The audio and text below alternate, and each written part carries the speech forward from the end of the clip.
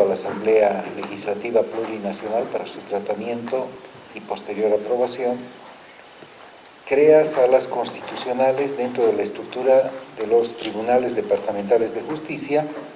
con dependencia funcional del Tribunal Constitucional Plurinacional. Consideramos que este es un avance en materia de derecho constitucional y va a permitir que de manera especializada estas salas constitucionales toquen temas de derecho.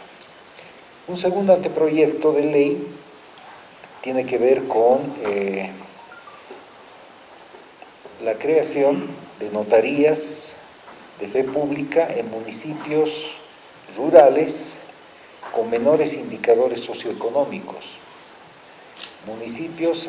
que no tenían hasta el momento acceso a notarías y que por lo tanto para efectos de escrituras públicas, de registro de derechos, no tenían la posibilidad de contar en esos mismos lugares con eh, estas notarías